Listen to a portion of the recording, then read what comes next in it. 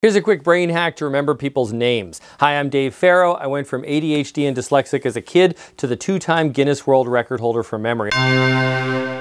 So if you want to remember people's names, try turning them into costumes that sound similar to their name. So all of a sudden, Mike looks like he's dressed up like a giant microphone. Uh, Mary looks like she's getting married wearing a wedding, wedding dress. Uh, Juarez looks like he's going to war in a tank, perhaps. Uh, Sue is dressed like a lawyer suing people. Talia has giant talons. Don't mess with those two. And my name, Dave, imagine I'm surfing a wave right out of a cave. Now, this may seem silly, but if you try it, it really does work because the brain latches on on to these powerful images. Well, if you like this, check out more brain hacks in my book, Brainhacker, available today. I also have a link to our courses in the description, or you could just subscribe for more brain hacks.